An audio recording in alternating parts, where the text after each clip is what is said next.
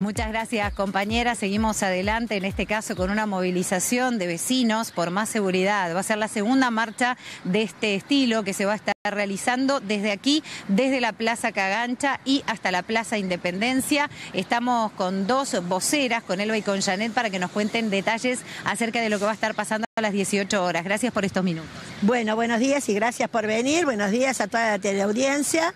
En realidad estamos invitando para las 18 horas esta marcha netamente pacífica. Somos vecinas y vecinos de la Mesa Interbarrial por la Vida y la Convivencia. Y bueno, lo que vamos a hacer a un año de haberle entregado al señor presidente de la República una carta solicitando políticas públicas en nuestro territorio para colaborarnos en la construcción de un tejido social, no hemos tenido respuesta en este año.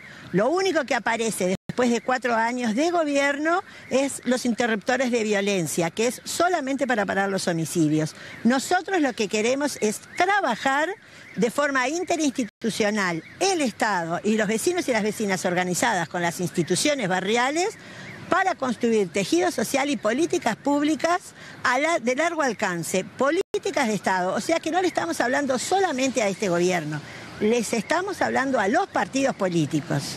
La convocatoria es aquí a las 18 horas, luego se va a marchar, ahí va a haber alguna lectura de proclamas, se espera entregar otra carta, ¿qué es lo que van a hacer?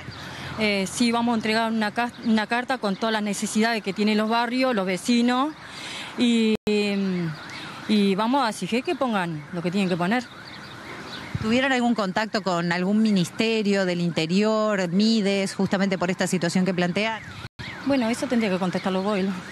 No, en realidad la, única respuesta que hemos tenido es del Ministerio del Interior, porque en realidad en los barrios ahora tenemos mayor cantidad de patrullaje y está bien, pero nosotros necesitamos algo mucho más profundo. Y eso solo se logra con interinstitucionalidad, donde todos los ministerios estén presentes para cambiar, digamos que de raíz, las cuestiones que suceden en el barrio.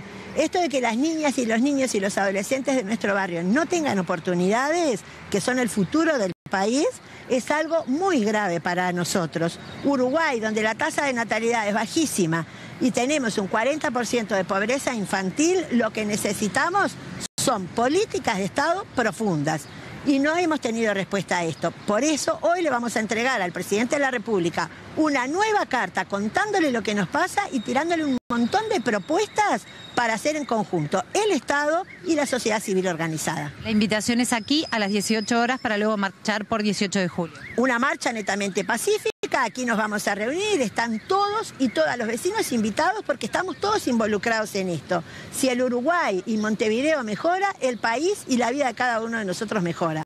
Hoy, 18 horas en la Plaza Libertad, los y las esperamos para marchar hacia el edificio Libertad a entregarle al señor presidente una carta con nuestros reclamos. En Plaza, en Torre Ejecutiva se va a estar entregando, muchas gracias a ambas y la invitación está hecha, La Vida Vale es también el colectivo, el colectivo que agrupa